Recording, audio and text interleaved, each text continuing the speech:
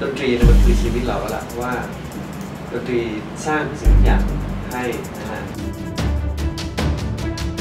จักรยานคันแรกที่ก็ได้มาจากการที่แม่เก็บเงินให้หลักการการที่เราไปเล่นดนตรีตามงานต่างๆนะ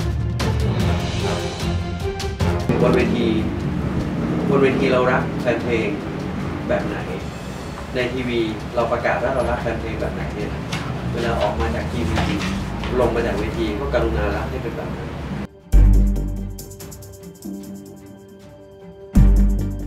คนเราเวลาผิดหวังเรื่องความรักเนี่ยมักจะหนีซึ่งพี่เคยทำมาแล้ว อยากจะหนีโดยการที่บินไปต่างประเทศไปให้ลืม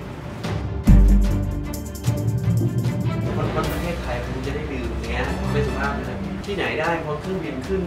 เทคเครื่องบินเทคออฟปุ๊บเนี่ยพอพ้นแผ่นดินอะยังไม่ทันจะแบบขึ้นปุ๊บเลยนะเชื่อไหมเขาหันไปมองหันไปมองสนามบินอะอยากกลับ